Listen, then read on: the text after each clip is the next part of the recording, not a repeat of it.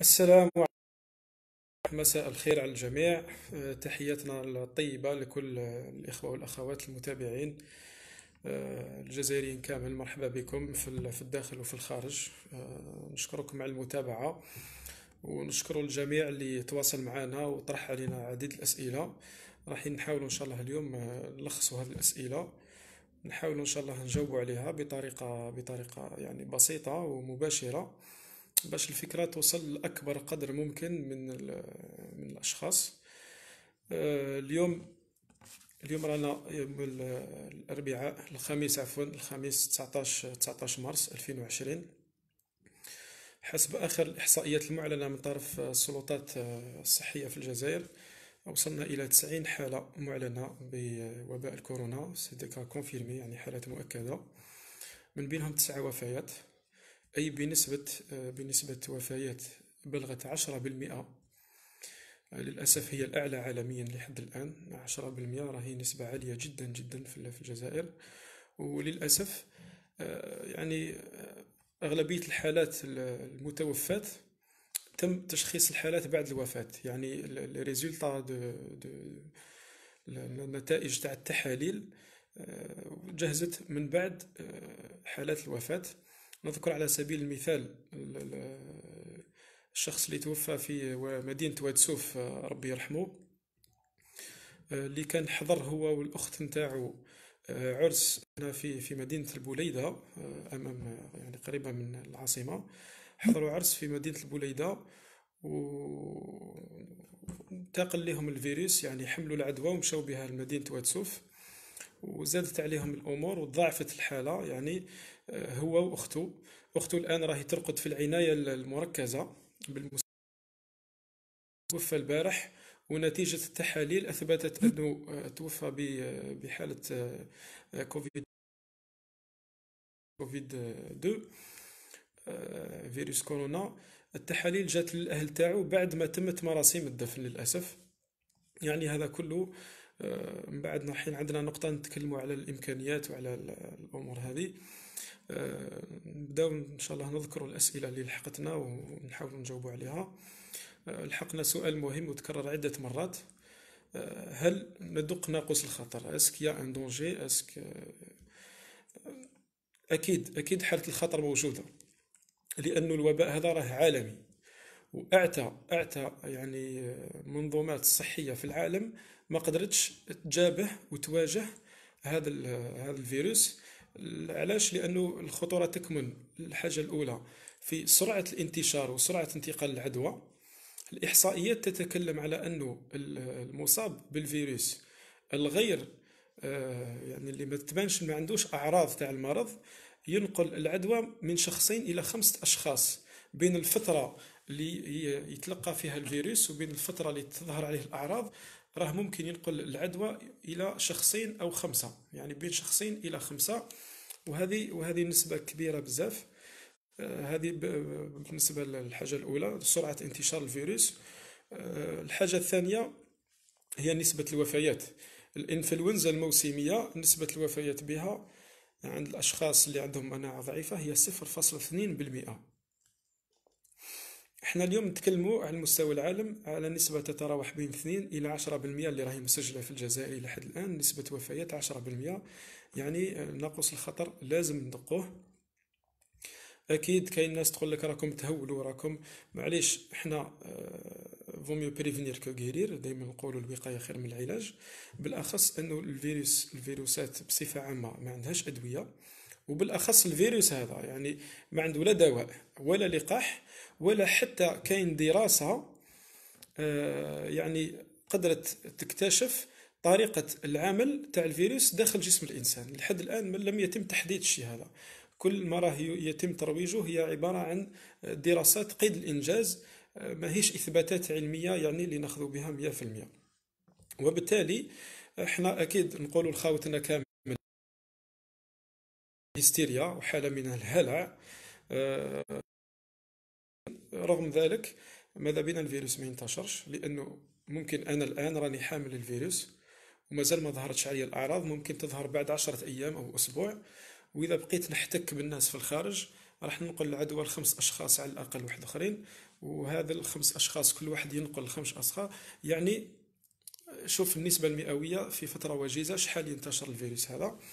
والشيء الثاني علاش رانا نقولوا الوقاية قبل كل شيء لأنه المنظومة الصحية عندنا يعني نقولوها دائما ونعودوها آه، يعني منظومات صحية كبيرة في العالم إيطاليا فرنسا كوريا اليابان الصين آه، ما قدرتش تواجه الفيروس هذا بكل الإمكانيات اللي عندها. إحنا يعني آه، نقولوا ربي يستر إن شاء الله.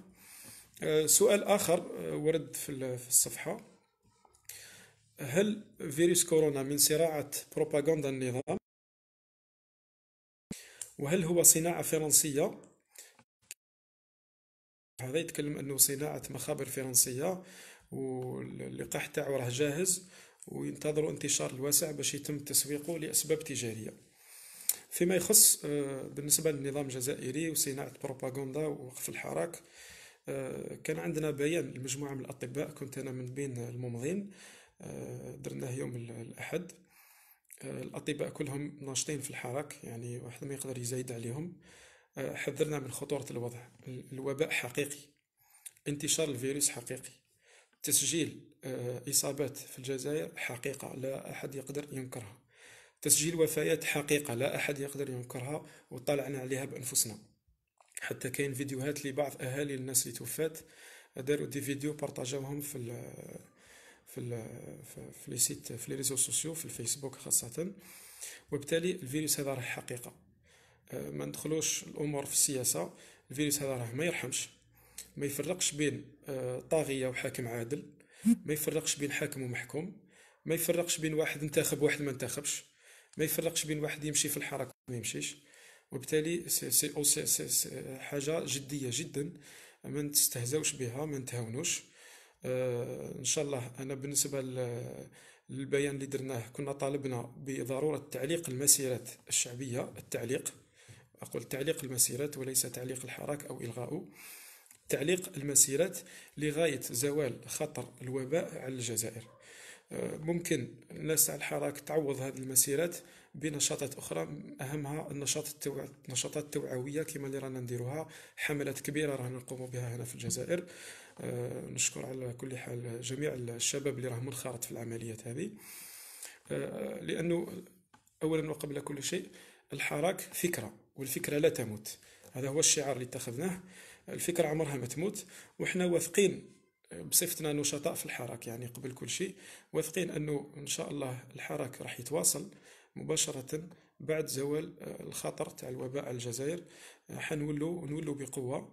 لأنه الأسباب اللي خلاتنا نمشوا في الحراك إلى يومنا هذا ما هيش راح تزول بين ليلة وضحاها. وبالتالي لا تنازل عن ذلك.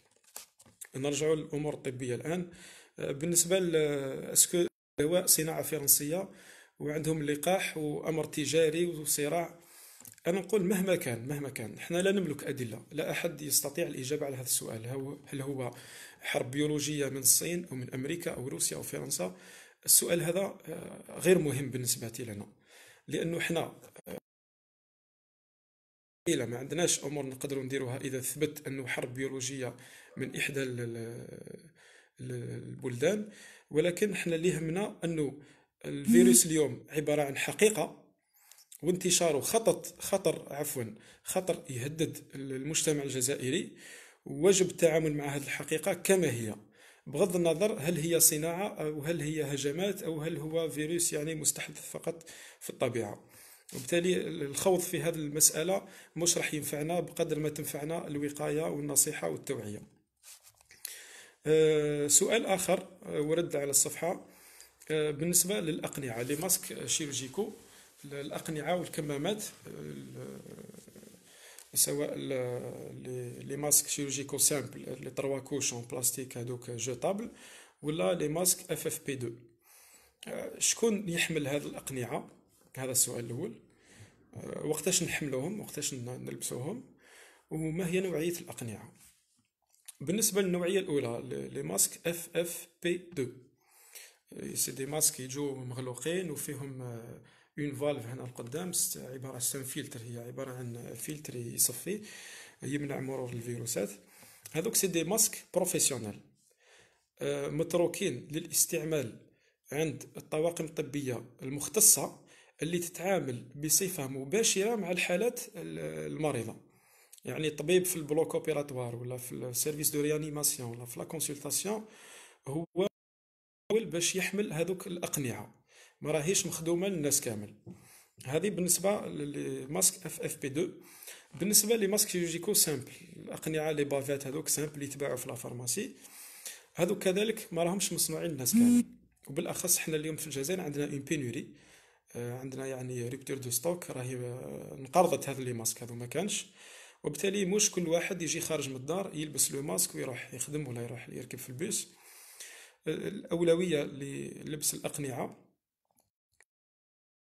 لا العمال تاع الصحة. الحاجة الثانية الناس الثانيين هما الناس اللي عندهم أعراض تاع إنفلونزا.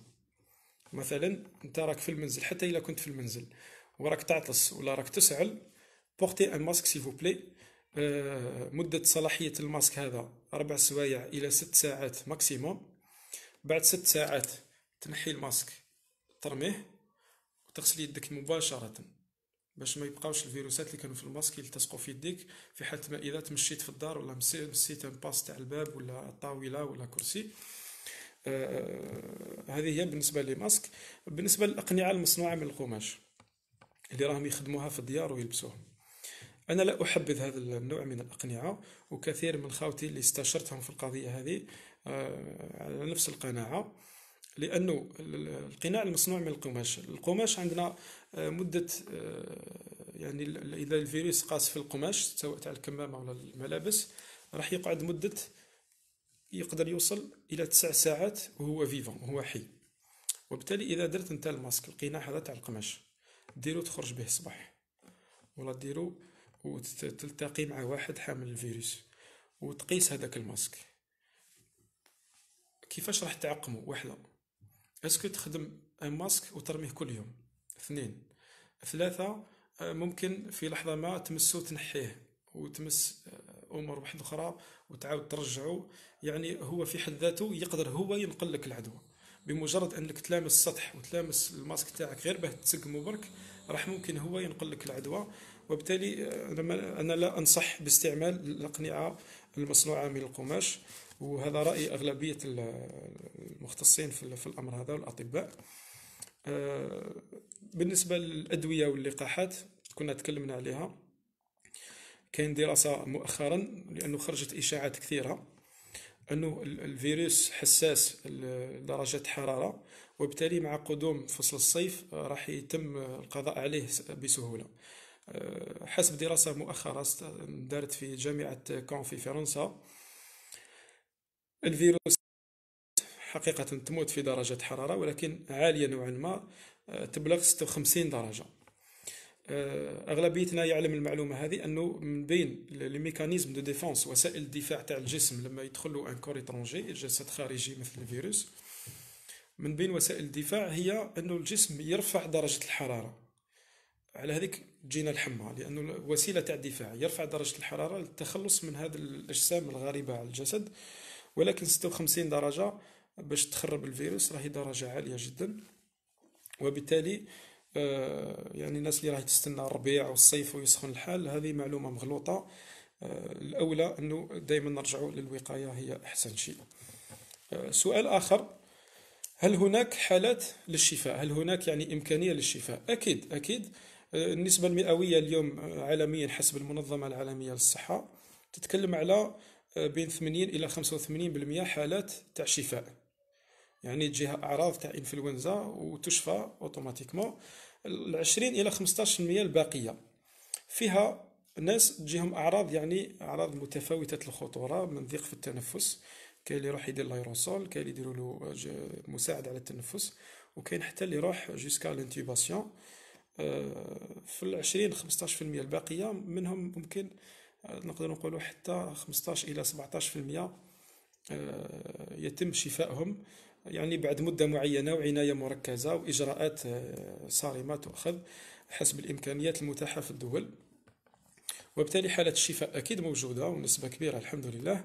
ولكن تبقى 10% اللي راهي مسجلة اليوم في الجزائر تاع وفيات راهي نسبة كبيرة جدا. آه، تخيل غدوة يولي عندنا لا قدر الله ولا عشرة آلاف مصاب من العشرة آلاف مصاب راح يتوفاونا ألف من المئة ألف يتوفاو عشرة آلاف. وتخيلوا حجم الكارثة يعني آه يعني نسأل الله العافية. آخر ورد للصفحة يتعلق بالقطاع الصحي في الجزائر ويعني إمكانيته على احتواء الوضع أو على المعالجة.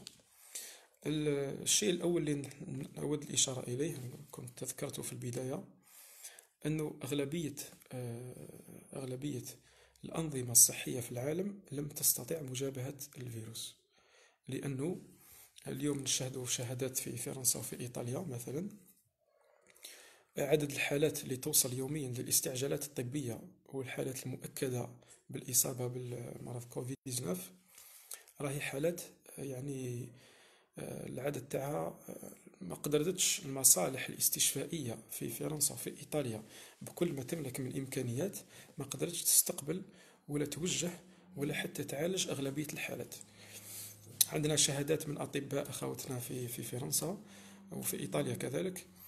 آه، راهم يفضلوا بين الحالات. يعني لما يجوك عشرة حالات كلهم في في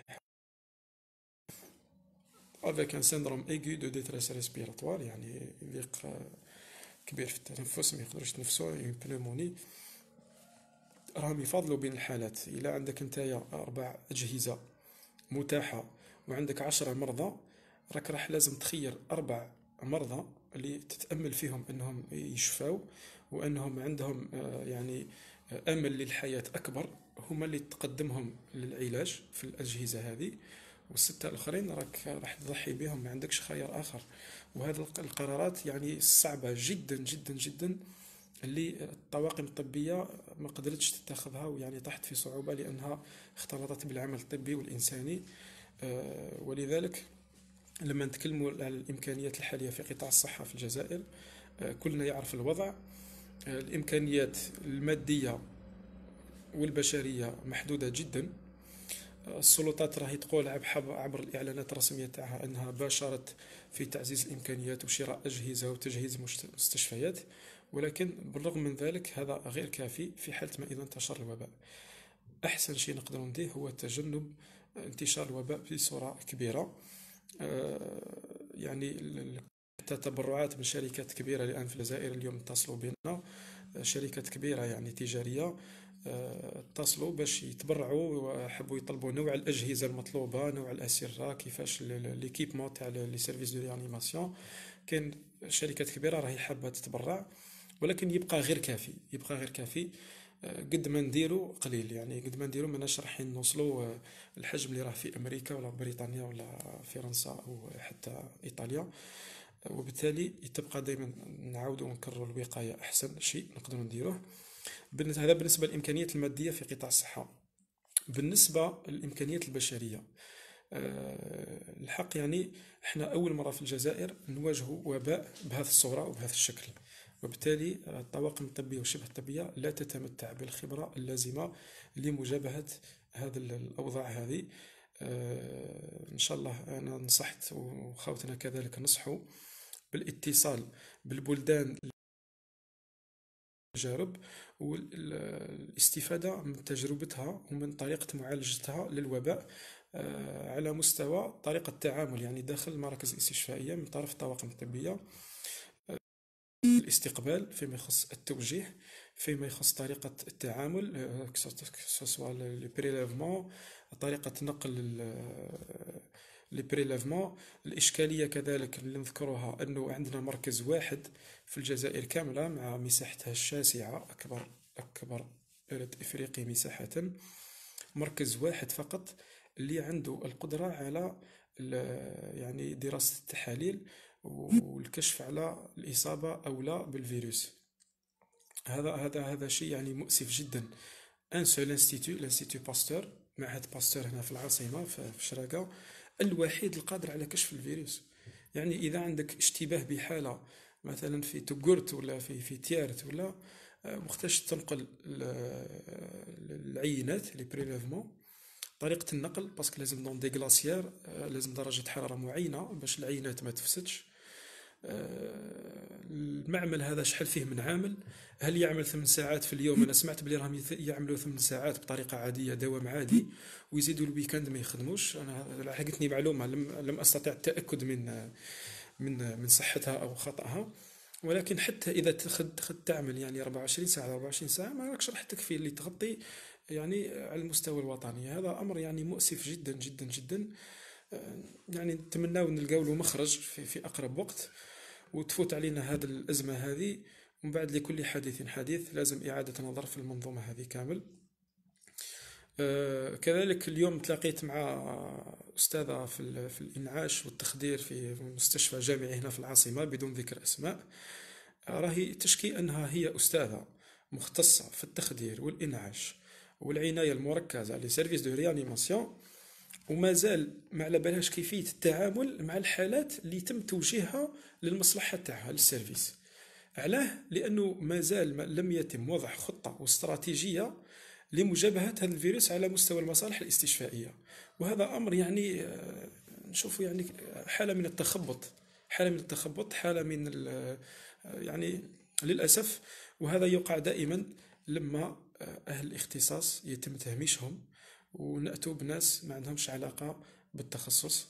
يعني لما تجيب مستشفى تحط واحد إداري يأخذ القرارات بشكل انفرادي بدون ما يرجع المجلس علمي على مستوى المستشفى يعني هذه هذه طامة كبرى يعني أخرى يعني.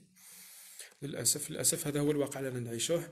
لذلك دائما نتكلموا على الوقاية خوتي الوقاية. آه، صحيح أنه الوباء هذا ما عندوش دواء ما عندوش لقاح ولكن إحنا اليوم درنا شعار راح نوزعوه غدوة في العاصمة وفي المدن الأخرى. لقاحك هو مكوثك في البيت. إذا حاب دير vaccin contre هذا المرض اجلس في الدار. هذا هو ال vaccin تاعك. هذا هو اللقاح تاعك. يعني ما نقدروش نقولوا حاجة أخرى. أه، سؤال آخر للإخوة والأخوات اللي تفضلوا به. هو بالنسبة للحاملين تاع الفيروس. نعم تكلمنا عن النقطة نعاودوا نذكروها. بالنسبة للإنسان الحامل الفيروس قلنا إذا إذا أنت تلقفت هذاك الفيروس استنشقته أو تنفسته أو جاز لك في في القصبة الهوائية تاعك خلاص راك حامل للفيروس. الأعراض وقتاش تظهر عليك الأعراض؟ الأعراض ممكن تظهر بعد يومين وممكن توصل المدة إلى 14 يوم. في خلال هذا 14 يوم أنت راك حامل الفيروس وتقدر تعدي به ناس واحد آخرين. نسبة العدوى قلنا أنه تقدر تعدي في هذه المدة من شخصين إلى خمسة أشخاص. هذا المعدل آه، حسب تقارير تاع المنظمة العالمية للصحة.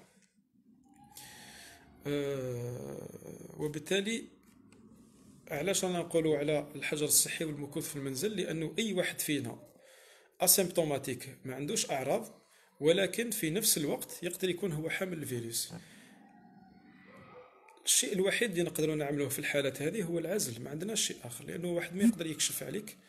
أه تكلمنا على الإمكانيات ما نقدروش نديروا لي زاناليز للناس كامل مستحيل. وبالتالي المكوث في البيت هو أحسن حل وهو أحسن لقاح وهو أحسن دواء لمكافحة هذا الوباء. آه، التجارب التجارب الأخيرة. لأن شفنا اليوم بريطانيا بريطانيا اللي كانت تقول باللي آه، مناعة القطيع. منذ أسبوع مناعة القطيع نخلوا الناس الفيروس ينتشر ونحاولوا نحميو الناس اللي عندهم حالة صحية هشة كبار السن ولا المرضى المزمنين. اليوم بريطانيا أثبتت الخطأ تاعها في في القرار اللي اتخذته الأسبوع الفارط وبدأت تتخذ في إجراءات صارمة حتى كان فيه استدعاء لقوات من الجيش آه، فيه غلق المترو تاع الأنفاق فيه غلق النقل العمومي لبعض الإدارات. ونظن رايحين يروحوا الحظر الشامل في في قادم الأيام في أقرب وقت لأنه الوباء عندهم بدأ ينتشر بسرعة هائلة ومش رايحين يقدروا يتحكموا فيه برغم المنظومة الصحية الجد متطورة الموجودة في بريطانيا. آه، الصين الصين اليوم احتفلوا بمرور 24 ساعة بدون تسجيل ولا حالة جديدة للإصابة بالفيروس. وهذا راجع كنا قلنا البارح في الفيديو ممكن خواتنا اللي ما تابعوهش يرجعوا له. راجع للسياسة الصحية الصارمة اللي اتخذتها الصين وكوريا الجنوبية بالحجر الصحي التام والشامل لجميع الأهالي في المناطق الموبوءة وهذا اللي يسمح لهم يسيطروا على الوضع بعد مرور 20 يوم ثلاث أسابيع بدأت الأمور آه، تخضع للسيطرة على مستوى القطاع الصحي. وهذا اللي رانا ناديو به إحنا الآن. بالنظر للإمكانيات المحدودة وسرعة انتشار الفيروس يعني العدوى تاعو عالية جدا لازمنا نروحوا لهذا الحظر الصحي الشامل بدون استثناء. اللي انتشر فيها الوباء البليدة العاصمة تيزي وزو آه، عنابة البرج سكيكدا. المناطق هذه بدأ ينتشر فيها بشكل رهيب وبالتالي آه، هذه هي نصيحتنا. آه، سؤال أخير اللي ورد ماذا يمكننا الفعل؟ يعني ما واش نقدروا نديروا درك ما يمكننا فعله حاليا. قلناها وكررناها. الحاجة الأولى ندعو ربي سبحانه يفوت علينا هذا الحاجة الثانية التوعية. كل واحد يقدر يوعي عشرة من الناس جاره أحبابه فاميلته الدواء الوحيد واللقاح الوحيد ضد الفيروس هو المكوث في البيت. ما عندناش حاجة أخرى. التوعية ثم التوعية. اثنين ما ندخلوش في حالة من الهلع ولا هستيريا. شاهدنا المخازن في اليوم اللي فاتوا. يعني فضت. ناس راح دارت ravitaillement ات تاع شهرين. كشغل داخلين في حالة حرب. لا بالعكس آه، لما انت تدي خمسة كيلو ولا زوج كيلو سميد وواحد يدي عشرين ولا خمسين كيلو سميد ومن بعد يجي واحد ما يلقاش. اليوم اتصلوا بيا un couple آه، نقدر نقولوا vieux كيلو سميد ما عندهمش في الدار وما يقدروش يخرجوا خافوا. آه، يعني ما ما قدرناش حتى نوفروا لهم شوية دقيق يعني شيء عيب يعني. الناس تدي تعمر في الطوموبيلات وتعمر في لامال وتعمر في ستوك لا ما ندخلوش في حالة هستيريا. نخمو بلي كاين خاوتنا اللي ما يقدروش كاين خاوتنا اللي محتاجين. آه، كاين ناس آه، حالتها الصحية ما تسمحش عايشين عايشين وحدهم نخمو عليهم. رانا نعرفهم كامل راهم جيراننا عائلتنا آه، خاوتنا ممكن أهلنا. نحاولوا دائما نتواصلوا معهم نسقسوا عليهم نقدموا لهم النصائح اللازمه كاين مجموعات راهي تقوم بلصق الملصقات الإرشادية وبالنصائح العامة في مداخل العمارات في المحلات التجارية. آه، نعطيهم الصحة على كل حال كذلك. آه، في حالة ظهور أعراض تاع إنفلونزا عادية نعاودو كذلك نذكروا خوتنا. آه، صداع ألم في الحلق سعال العطس يعني أعراض عادية حمى كورباتور أعراض عادية الرجاء التزام البيوت وبورتي لو ماسك في الدار باش ما تعديش الأهل تاعك وحاول حتى باش ما تلمسش أشياء كثير وكل ما تلمس لازم تنظف من بعد وتغسل يديك تقريبا كل نصف ساعة مدة 30 ثانية. في حالة ما إذا شفت الأعراض هذه ضعفت وحسيت بضيق في التنفس اللي ما تقدرش تتنفس مليح à l'aise شغل les poumons تاعك راهم مزيرين ثم اتصل بمصالح تاع الصحة. وإلا ما كانش ما قدروش يجيوك ولا ما جاوبوكش آه، روح المركز الاستشفائي القريب لك ماشي dispensaire مركز استشفائي. les urgences هما راح يكشفوا عليك ويشوفوا يتعاملوا مع الحالة كما ينبغي. أه نظن هذه هي أه نعطيكم الصحة. الأخ واش راه يقول لم نرى صورة مباشرة للمستشفيات نعم أكيد لأنه لأنه المعالجة الإعلامية في الجزائر رانا نشوفوا التوجه العام هو عدم إثارة الخوف والهلع لدى الأوساط الشعبية. آه، كل مرة يقول لك رانا متحكمين في الوضع متحكمين في الوضع. ولكن إحنا نتوقعوا نتوقعوا بعد أسبوع نوصلوا ل 600 حالة إذا استمر الوضع كما كما هو عليه الآن. آه، الله يجيب الخير إن شاء الله. على أنفسكم إن شاء الله. آه، نصيحتي الأخيرة. حافظوا على أنفسكم حافظوا على أقربائكم. على على أولادكم كذلك ما تخلوهمش يخرجوا في الوقت هذا. حاولوا ديروا لهم نشاطات في المنزل فقط. profitez bien يعني profitez من l'occasion تقعدوا مع ولادكم أكثر. النصيحه على les réseaux sociaux في الهواتف.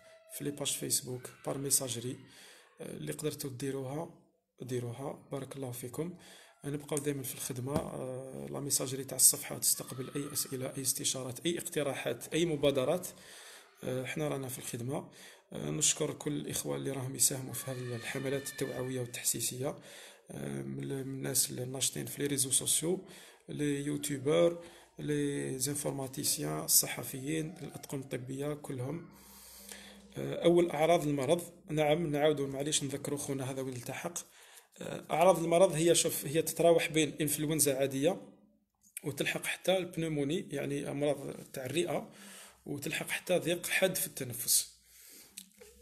في نسبة 80 إلى 85% هي أعراض عادية تاع إنفلونزا موسمية. أه، وجع في في الرأس يعني صداع سعلة واحد يعطس نيفو يسيح ممكن يكون mal au nez les maux de gorge القرجومة تاعك توجع. des courbatures حمى. أعراض هذه كلها كيما الأعراض تاع la grippe saisonnière. la grippe عادية يعني. وفي حالة ما كانت غير هذه الأعراض ما ت paniquer يوش اجلس برك في الدار واعزل روحك على الأهل تاعك. حاول بقدر الإمكان ما تقربش ليهم وما يقربوش ليك باش ما تعديهمش. آه، إذا تطورت هذه الأعراض بعد خمس أيام ست أيام ولا عندك ضيق في التنفس ثم آه، ممكن الحاله تحتاج إلى une hospitalisation يعني تروح للعناية المركزة في المستشفى إما تتصل بالمصالح الاستشفائية يبعثوا لك l'ambulance وهذا أمر يعني هو الأحسن الأفضل. إذا ما ما اتصلتش بهم ولا ما قدرتش تتواصل ولا ما قدروش يجوا لعندك ولا ما جاوبوكش حاول تاخذ le moyen de transport إلا قدرت تروح وحدك يكون أحسن إلا كش واحد يروح معك خذ احتياطاتكم باش حتى الشخص اللي يروح معك ما تعديهش. وكي توصل للمستشفى كذلك حاول ما في الطريق تاعك ما تعديش ناس واحد آخرين. أه ما تدخلوش في حالة من الهلع ما كانش حاجة تخوف pour l'instant ولكن إحنا رانا خايفين من المستقبل. رانا نديروا إجراءات مشددة الآن حقيقة مشددة. كاين ناس بزاف تشوف فيها اكزاجير يعني فوق الحد فوق اللازم. ولكن أه معليش نضغطوا على أنفسنا اليوم. نشدوا على أنفسنا اليوم وعلى أهلنا. أحسن من إنه نندموا بعد مدة معينة 15 20 يوم لما نشوفوا عدد الحالات اللي راح تتوسع فيها الأمور هذه. أه، نشكركم بارك الله فيكم. سعدت بالحديث المجموعة كامل يعطيكم الصحة شكرا على المتابعة. أه، لا ميساجري تاع الصفحة في خدمتكم. أسئلة استفسارات مبادرات اقتراحات إحنا رانا في الخدمة. رانا متواصلين مع عديد المجموعات والجمعيات في الجزائر اللي راهم ينشطوا ويحاولوا في التوعية وفي التحسيس. آه، أطباء صيادلة ناشطين ميدانيين. نبقاو دائما في الخدمة. بارك الله فيكم. ليلة سعيدة. وإن شاء الله ربي يجيب الخير للبلاد وللعباد إن شاء الله. والسلام عليكم ورحمة الله.